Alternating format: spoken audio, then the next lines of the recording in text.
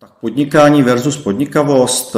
Podnikavost se nedá dělat bez nějakých nápadů, bez odvahy, bez riskování, neúspěchů, poučení se z těch neúspěchů. Nedá se dělat bez spolupráce, nedá se dělat bez komunikace, odpovědnosti. Tam je celá řada faktorů, které tu podnikavost ovlivňují. A tu podnikavost ne každý má v sobě. A pokud na tom Gimplu má k sobě lidi, kteří jsou podnikavější, tak může přejít na tu jejich stranu a to podnikavosti jsou zasažení, napadnutí a stávají se třeba součástí studentské firmy nebo organizují nějaké další aktivity, akce i dobročinné. Je to opravdu hodně. Naši studenti se zapojují třeba do participativních rozpočtů města Břeclavy. Máme tady studenty, kteří jsou výborně graficky nadaní a třeba eh, graficky stvárňují autobusové čekárny.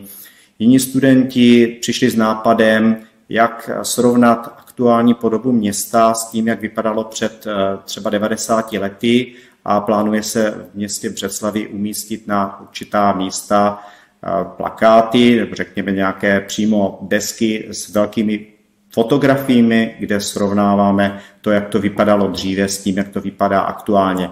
Takže studenti jsou v tomto nesmírně kreativní, podnikaví, o tom svědčí naši absolventi, kteří vycházejí z naší školy.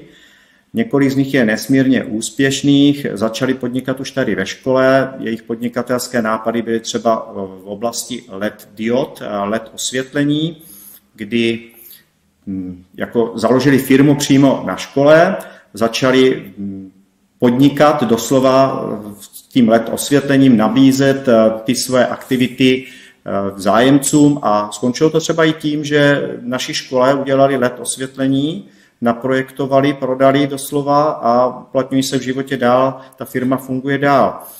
Další třeba absolvent, co si vzpomínám, který odešel na programátorskou školu do Brna na fakultu, tak tam eh, zjistil, že je tak dobrý v tom svém, v těch svých nápadech, že začal rozvíjet firmu, která se zabývá poskytováním informací a údajů pro záchranáře. Vytvořili nějakou aplikaci, která prostě je žádaná ve světě. Jakmile se stane někde humanitární katastrofa nebo nějaká taková vážná událost, tak ti záchranáři používají právě tu aplikaci těch našich bývalých studentů.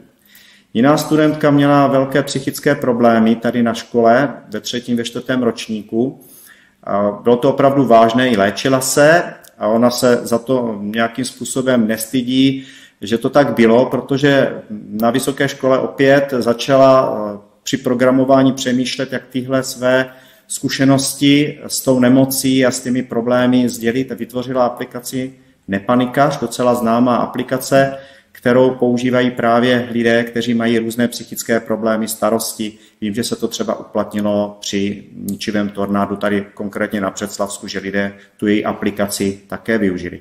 Takže ti absolventi naši jsou opravdu kreativní, nápadití. Člověk by neřekl, že třeba může rozjet eh, takové nenápadné dítě eh, firmu hned po škole. Eh, vzpomínám si na dívku, která chtěla dělat zase v oboru gastronomie, a nakonec rozjela obchod Sipej, což je obchod, kde si chodí lidé se svými eh, nádobami na potraviny a dostávají teda do těch svých nádob ty potraviny.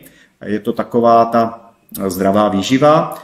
Jiná dívka, to, to si vzpomínám, že se zajímala celé studium o čaje a má firmu, která právě produkuje léčivé čaje. Eh, ti studenti opravdu jsou velmi kreativní a my jim na té škole dáváme možnost, aby tu podnikavost prostě už tady mohli rozjet, aby nečekali až na té vysoké škole, to už je mnohdy pozdě a tady ty příležitosti mají opravdu od nás velké. Podpora vedení je tady velká pro ty studenty, podpora vyučujících a studenti sami navzájem si dodávají odvahu, aby podnikali.